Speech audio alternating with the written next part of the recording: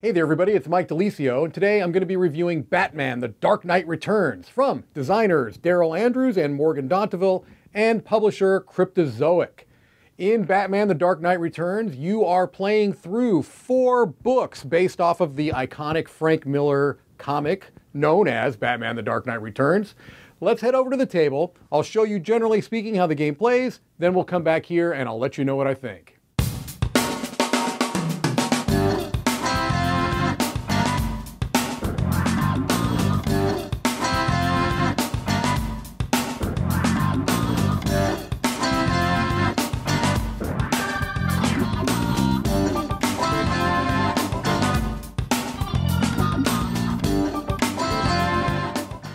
Right, here we see a setup for Batman The Dark Knight Returns. And something I just want to point off uh, here at the beginning is that what you're seeing is essentially uh, what would be the retail edition of the game. The main difference being that this is showing some cardboard standees to uh, take the place of like Commissioner Gordon here, for example, or Batman, or Two Face, which are kind of the main players in this particular scenario. If you get the deluxe edition of the game, those are replaced by miniatures. All right, so here you can see the Batman Mini. I can go ahead and place him in Wayne Tower instead of this standee, and Commissioner Gordon can go right here, and Two Face can go up here.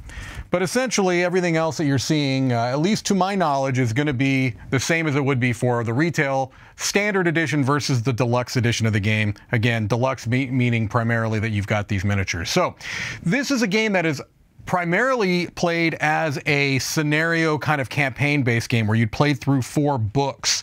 And so what I'm showing you here is the setup for the first uh, kind of book, which is the search for Two Face. All right, and it tells you what kind of your goal is here, which is to investigate these clues that are about uh, spread around the board. That was uh, set up during uh, part of the setup. So the first thing I want to do is just show you a little bit on how the game uh, plays out. I'm not going to go into tremendous detail, um, but uh, there is a bit of a procedure that happens at the start of a round that I'll be referencing a fair amount in the review. So I kind of want to show you briefly how that works. All right, so here you've got your action deck, all right, and this is a big deck of cards that is made up of cards that come specifically from book one, and you can see that denoted there let me get that more in focus on the bottom right. And then there are also these starter cards that are denoted with that S.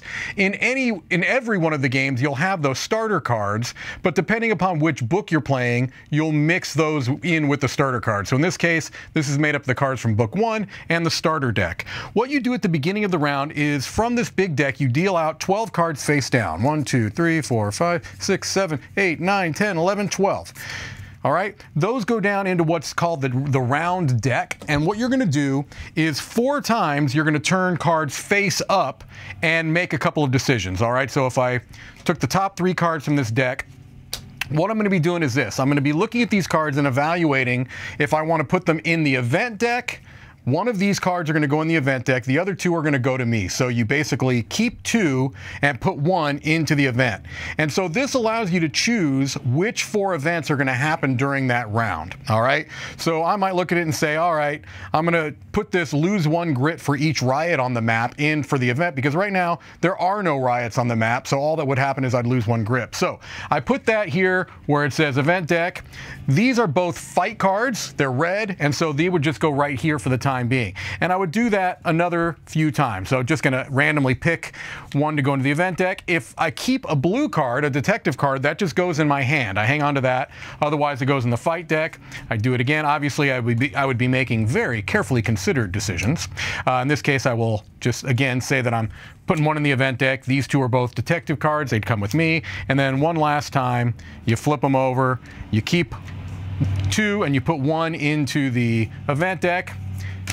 and you put the red fight cards here. Once you've done that, what you do is you take all of the fight cards, flip them face over, and shuffle them up. These are drawn at the beginning of a fight, so you know which fight cards you've put in there. You don't know which order they're going to come out. You also know the four events that you put in the event deck, and you shuffle that up. So you know you've chosen what the events are going to be for this round. You just don't know what order they're going to come out. You also now have a starting hand of detective cards that you had kept. All right? You keep the detective cards in hands, fight cards go here, event cards go here. All right, so on your turn, you're going to be going through a bit of a procedure. All right, we've already done the start of the round. What you're going to do is the first thing is and each round has basically four Batman turns. Uh, you are going to draw and resolve an event card. Again, one of those events that you already did. So in this case, I'd flip it over, and this event is add one mutant to a location with at least one other mutant. So mutants are these red tokens. I'd find somewhere that has a, uh, a mutant, and I would place it there. Perhaps I would go right there. Okay?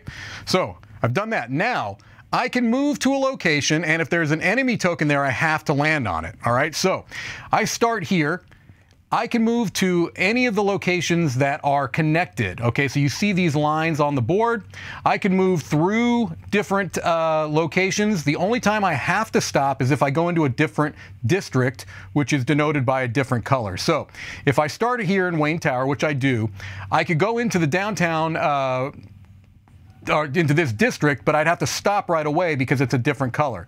In this district, I could kind of travel anywhere I want as long as it's connected and stop where I want. All right. So let's say, for example, I just went right next, uh, adjacent to me to the Gotham City Courthouse. Another thing to keep in mind is that each book's Batman is going to have some different things you have to keep in mind. It has some movement rules and some fight rules that are specific to that book. This says whenever you move through a location with two or more adversaries or a riot, take a damage. So I'd want to keep that in mind when I'm moving around. If I'm fighting with cops, I have to lose a grit, which are one of my three kind of tracks that I have to account for. If, if any of those tracks go down, you fail. That's one of the uh, multiple ways you can lose the game. You can also lose by the doomsday clock reaching 12. It starts on 2. And you can also lose if you get through all four rounds and you have not completed the um, specific requirements for that book. In this case, case searching for Two-Face, investigating clues, discovering where he is, and defeating him in a final fight. All right, so you move Batman, and then you could also move your ally if you want to. In this particular book, it is Commissioner Gordon. There are multiple allies in the game, Robin and, and many others that you'll be familiar with. And this has specific movement uh, rules for the for Commissioner Gordon and an action that he can do, specifically in this case dealing with riots, none of which are on the board right now. All right, once you have moved uh, both Batman and your ally if you want to, then you're going to go to the fight or sneak. If you're on an enemy token, you have to either fight them or sneak past them. All right? If you sneak, you're just basically going past them onto an open spot. There might be some different rules depending upon the book, the particular book you're in. But if you want to fight, what you're going to do is you're going to kind of start a new process. So I'm on top of a mutant right here, and I want to fight them because they are protecting a clue, one of the clues that I need to find Two-Face in this particular scenario. So what I would do in this case is determine what the enemy die pool is. In this case, we've got mutants and cops. You don't ever fight against the press, which are in green, because it's Batman. You're not going to fight the, the, press. You're going to sneak past them. But you may be fighting against uh, uh, the mutants for sure, and maybe even potentially the police who are trying to maybe get in the way of your uh, investigation. So in this case, I'm fighting against mutants. There's one, so I'll take one mutant die there. And if there were any mutants that are adjacent to my location, I would add one for each of those. If the boss was in my location, I would add an extra one for those. So in this case, I'm only fighting against one mutant, only one die. I've got a utility belt filled with my six standard batarangs in this particular scenario. All right, sometimes you can get other more fancy upgraded batarangs that you see here. All right, what you're going to do is you're going to start with your uh, three dice. Now you can choose any of these three. They're going to have different faces on them. Blocks will allow you to change a hit on an enemy die to a miss. POWs will do one damage. Rams will do a damage, but you have to take a damage yourself of any of those three tracks. So those are your kind of main choices. So they're not all the same. You would pick which ones you wanted, maybe one with a, with a BAM, or a POW, I should say, uh, one with a block and one with a ram, all right? So I would go ahead and roll my dice. I got a ram and a POW. I would go ahead and roll the enemy die. I got this symbol here, which I would refer to this card, and in this case, it's a miss. That could be different depending on, upon which book I'm playing in. All right. And so in this case, they missed. I did a POW, which would uh, take that die out. I would have defeated them. I could get rid of this token, and I'd also reveal a clue in this particular book. In this case, it's one of the clues that I'm looking for. It would have said dead end if it wasn't a good one. I put that up in Wayne Manor. Um, And now that fight has been resolved, I can do the action on the on that particular spot, which is the next thing. Use the action space. If you're not on an enemy token, which you would be if you didn't win the fight, but if you're not, you do that. All right. So in this case, we'll just look really quickly at what these different kind of type of action spots do. This one gets rid of a press token from anywhere on the board. So maybe I'd want to get rid of this press token. Boom. I did that. Uh, I did that action you can see that there are spots that will raise all of the three uh, tracks, grit, health, and sanity. So if you lose those throughout the game, this is a way that you can gain those back. This spot here allows you to move back on the doomsday clock because that's something that's going to happen both through events and it happens at the end of the round as well. All right. And so those are, generally speaking, how these work. Either removing the different adversaries from the board moving the uh, doomsday clock back or raising up your three tracks that you've been kind of losing throughout the game. Okay? That is basically how this works. The last thing you have to do is add some adversaries, and I'm going to show you really quickly how this works. For this particular book, it says that you're adding seven adversaries per round. Uh, I actually would have done this before I started uh, the game, but you get the general idea. It's going to randomly show you, these tokens are randomized, and they show the different regions and districts on the board. And so I have to choose seven of them. Again, I would have done this before, but I wanted to kind of show you how it is here. So in this particular round, I have two sets of mutants I'm putting out, the press and the police. And, and the numbers I put here have to add up to seven. So how many of the uh, mutants did I want to have in the Mid-East region, this whole, uh, or sorry, the Midtown East, so this region here. It's a pretty small spot, so let's say I only wanted to put two there. This is the Uptown East, maybe I wanted to put two there. This is the downtown uh, region, so all of it, I'd feel a little more comfortable with a bigger number. Uh, maybe I even went three here, and that would equal to seven. I don't have to put any mutants. That's a bad zero. I'm just going to erase it because I can. This is a dry erase board zero. And so three, four, five, six, seven. So what I would do in this case then is take the two mutants and add them to the Midtown East region. Boom, and maybe boom. All right. That is a full Batman turn. You're going to do that. You would move the tracker down, and you're going to continue on going through the same sequence of resolving an event, moving Batman, moving an ally if you choose to, fight or sneak, use an action space, add adversaries. So that's the basic structure of the game. Again, you're going to win if you can complete whatever the particular scenario tells you to do. You'll lose if you uh, go through any of those examples I mentioned earlier. There are some things I'm leaving out. There are goals that you can be going for that will give you some extra boons. There are um, vehicles that you might be able to utilize throughout the game. You have to go to Wayne Manor to, to get one of these available vehicles like the Batcopter, and there is a mini for that as well as a standee. And it gives you a one a powerful one-time uh, use benefit that you uh, might be able to utilize throughout the game. So there are a couple of little things I've left out, but the main structure of the game is as you see it here. Each book of the game, and again there are four, are going to have some variations on this, some different kind of tweaks to the rules. You also are going to be drawing uh, paths on the board at the round end spot, um, placing riots if any spot gets completely filled, you would replace it with a riot token. Other things are going to ramp up the difficulty of the game.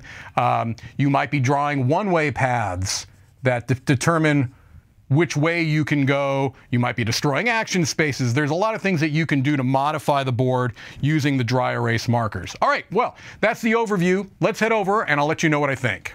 Okay, so that overview was an attempt to just kind of show you the general round flow, how the game plays. Keep in mind that depending upon which book you may be playing in, uh, whether it's a standalone or if it's part of a campaign, that there will definitely be some changes to things you saw, maybe some different allies, different dice you might have access to, different movement rules, things along those lines. I was just trying to show you the general flow of the game.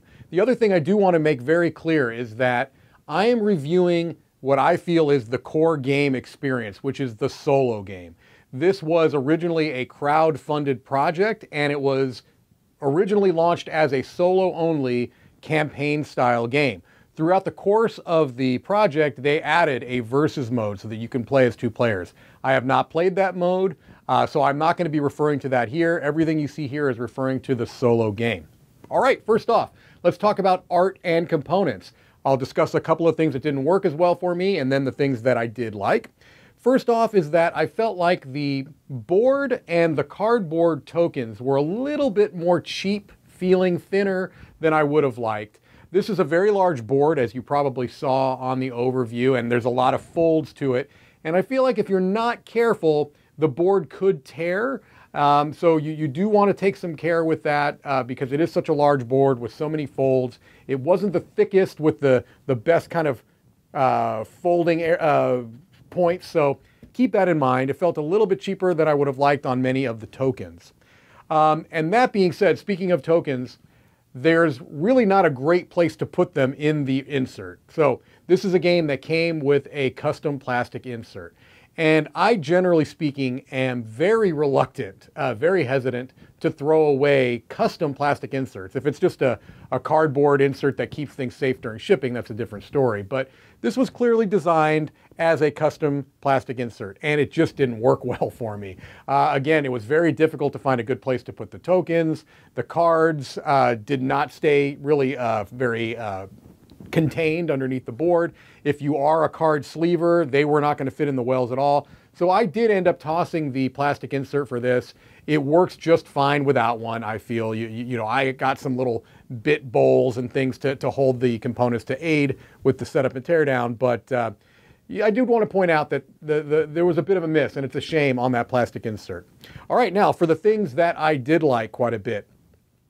The comic book art that is utilized throughout the game, I think, is really nice. If you are a fan of those original Frank Miller comics, you're going to appreciate seeing the art on the cards, um, the art kind of throughout the game on the different components. It, it, really helps immerse you into that theme if you are a fan of the source material. Um, I also, this is a, might seem like a small thing, but I really appreciated it, is that when components are book specific, things that you are going to be playing in book one or two, three, or four, they put little notations on the actual tokens themselves so that I knew that these were the clue tokens from book one as opposed to the clue tokens for book two. That was really, really appreciated. It made it much easier to organize it, and also when you're doing the setup and teardown, it helps with that quite a bit. Um, the dry erase component works well, meaning that the board itself is basically a big dry erase board. And that was a really smart way to handle a game like this where you are making changes to the game board without having to make permanent changes. So you're drawing new paths, you're erasing paths or crossing out paths, you're destroying uh, action spots, you're adding modifiers to adversaries, and it's all done with a dry erase pen. Really smart, works very well, and uh, I think that it is a big usability plus in the game. It makes the game much more approachable from a usability standpoint. Something that I feel is neither necessarily good nor bad, this is really going to be a uh, preference issue on what your preference is, is the minis versus the standees. So I showed you a bit of both in the overview. The standard edition of the game is going to come with the cardboard standees, while the deluxe edition of the game are going to come with those miniatures that I showed. The benefits uh, depend upon what you're looking for. So the cardboard standees incorporate more of the comic book art. So if you're looking for more of that, then you probably would want to go with the standees, although like the other cardboard components, they're not the highest quality in the world. If you like minis, then those are a nice kind of little tweak to the immersion in the theme. I especially like that they uh, the, the characters have wedge-shaped bases, so they kind of fit nicely into those action spots. So that's nice. Again, neither good nor bad in my opinion. That's something that you're going to have to determine on your own. The next thing I want to do is talk about some kind of benchmarks, high-level ideas that I look for when I'm assessing uh, games. The first is the setup and teardown. That can oftentimes have a lot to do with whether I get a game off the shelf or not. In the case of Batman The Dark Knight Returns, um, it is a long setup. There's no two ways about it. It is uh, lengthy and involved. I mean, you have to really make sure that you are doing everything in a step-by-step basis. You're having to kind of randomize those location tokens. You are having to make sure that the characters are where they need to be uh, on the board. You need to set up your cards, make sure that you're getting your starting cards with your book cards. There's a fair amount of setup. However, the game itself is a relatively lengthy game, and so It would be a bigger problem for me if you were doing all of this setup for a 30 minute game. This is uh, usually somewhere in the range of 90 minutes, I have found. And so I don't find that the setup is too uh, troublesome when you have a game that gives you that amount of length to it. The rules are the other thing I like to talk about, and this is a bit of a mixed bag, some good and some bad. Um, the the, the, all the rules are there. So I'm just going to start with that. I learned the game from the rule book, and I didn't really feel like I was missing too much. What I feel like the rule book does best is give illustrated examples, okay? And so, like for example, when they're talking about combat, they give you an example of a combat dice rolling round. I like that a lot. When they're talking about movement, they give you illustrated examples that, that help illustrate that, and I like it a lot. The only downside really I had with the rule books is uh, that they are not always organized in a way that is most intuitive to me. Maybe that's a an individual preference thing. There were some times where I felt like things were kind of presented in an order that didn't make as much sense to me. But again, everything generally was there. I learned from the rule book, felt pretty comfortable that I had things for the most part all good after my first read through of it. And um, so that part was done well.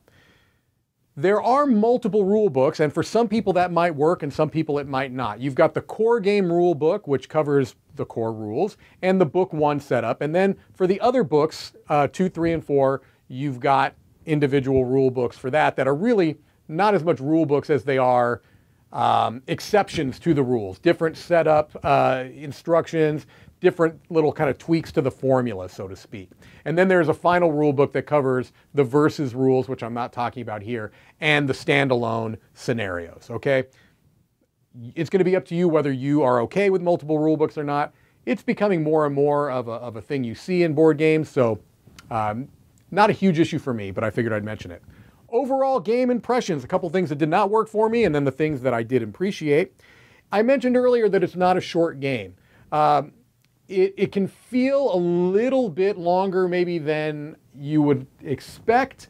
Um, and it's definitely procedural. That is something that may work for some people, it may not, where you have to make sure that you are kind of doing things in the correct order. And sometimes it can feel a little bit flowcharty. Okay, make sure I do this, then I activate, I move Batman, then I, then I move and activate an ally. And you know, you have to do everything in the correct order because it can kind of mess things up if you don't. Uh, so that's something to keep in mind is that uh, if you're looking for a breezy 45 minute solo game, this really is not it. Um, I'm not sure yet about the replay value. Uh, I don't know if I could call this a negative because I don't feel comfortable making a definitive statement on this. I have played the game multiple times. I've played through the, the scenario and the campaign, uh, of standalone scenarios and the campaign. Um, but if you're the type of person that feels like once you've played through a campaign, you're done with it, eh, keep that in mind because this is uh, based on the four books of the comic book series. And so basically, if you're playing a campaign, you are playing through these four books. Does that mean the game is not replayable? Not to me, it doesn't. I mean, I have no problem going back and playing because there are going to be variables. Things are going to change. Um, one of the things I like the most about the game is going to help with the replay, and I'll just talk about that right now, which is that I absolutely love the way that the rounds are set up. You know, there's four rounds in a game, and you go through this round setup before each of those rounds.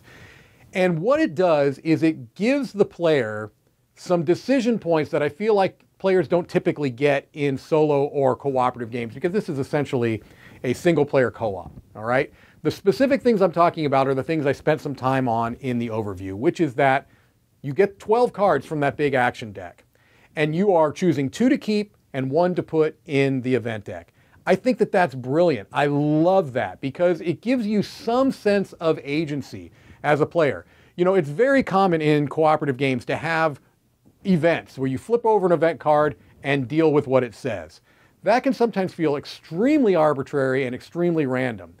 In this game, you're choosing what the events are. You know what they are. You don't know what order they're going to come out. That's the one thing you can't necessarily account for. But you are picking what events go in that event deck. I think that is such a great way of giving the player some agency where they don't typically get that agency in games that utilize an event deck. Really smart. I also like how you have the choice of am I going to take this detective card uh, or am I going to use it as a fight or put it in the fight card?